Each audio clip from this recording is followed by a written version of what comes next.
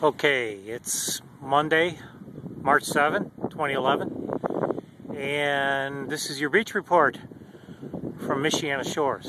The dunes. Uh, the lake has really, really come back in a big way in the last couple of days.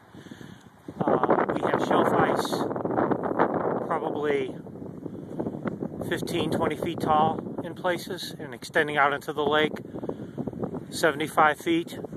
And as you can see, after a couple of days of really punishing seas, where we had 10, 12 foot rollers and temperatures in the uh, upper 30s, the uh, lake is reclaiming the beach.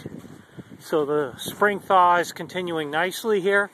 There's still some areas where there's pretty significant shelf ice, but for the most part, it's retreated into these little tiny beachfront mini bergs. And the surf as you can see is back. I'm sure that lake water is probably right at freezing or just above. So it won't be swimmable for months but this sure is a welcome sight. Because it was desolate here just three days ago. Bitter cold, very arctic. And uh, the only time you could hear the surf was when we were having this, those huge storms. Now it's just a mild, mild day with a very small surf and uh, spring. Welcome back. And uh, this is very encouraging.